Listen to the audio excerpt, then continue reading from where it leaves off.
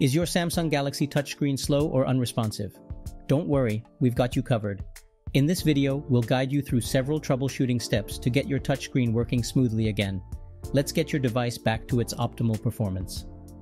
First, restart your Samsung Galaxy device. This simple step can clear temporary files, cached data, and refresh the system's memory, potentially fixing minor issues. Often, a restart is all it takes to bring your device back to normal.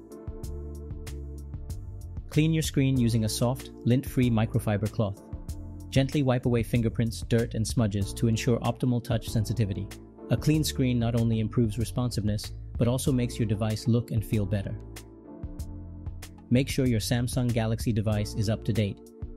Go to Settings, Software Update, Download and install. Regularly updating your device ensures optimal performance and minimizes the risk of software-related touchscreen issues. Test your touchscreen using the diagnostic menu. Dial hash 0 hash in the phone app, then tap touch.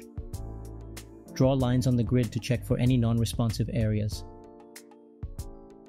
If you notice any issues, it's a good idea to consult a professional technician for further help. Boot your device into safe mode to check for problematic third-party apps. If your touchscreen works correctly in safe mode, uninstall any recently installed or suspicious apps. Staying vigilant about the apps you install will help prevent future touchscreen issues. Finally, perform a factory reset if all else fails.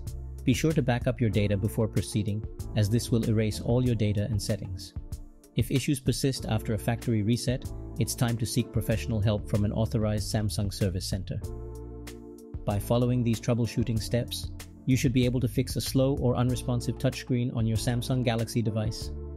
If you found this video helpful, don't forget to like and subscribe for more helpful tips and tricks. Thanks for watching.